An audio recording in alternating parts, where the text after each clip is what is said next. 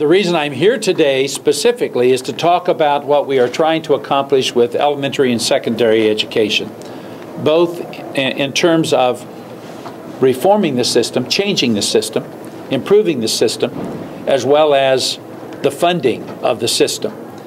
Um, and um, we are we're emphasizing um, increasing educational opportunities for our for our children. Over a period of time, we will increase the school year by uh, 20 days. Uh, we will increase um, the school day, uh, making it possible to add uh, health and wellness programs, uh, community service programs, and other programs to our school day.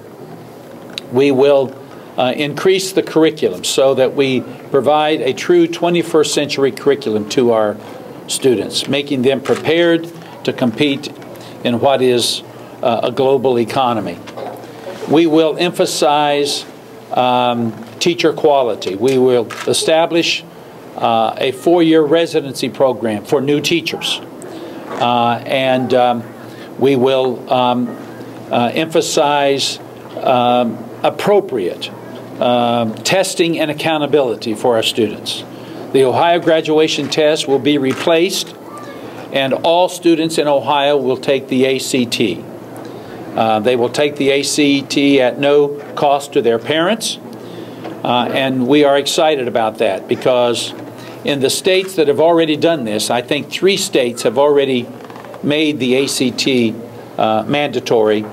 Uh, we, they have seen, those states have seen a very significant increase in the number of young people who are applying uh, for college. So it's, it's um, a test that will give us good information. It's a test that many colleges and universities require for admission and um, we think this is the right way to go. In addition to the ACT, we're going to uh, expect other things of our graduating students.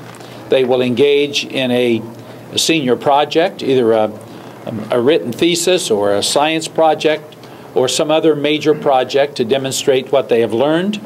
We are going to be requiring a community learning component, uh, which we think uh, is appropriate we want our students to become good citizens and to feel connected and involved with their communities. And we think that's appropriate for, um, for us to require.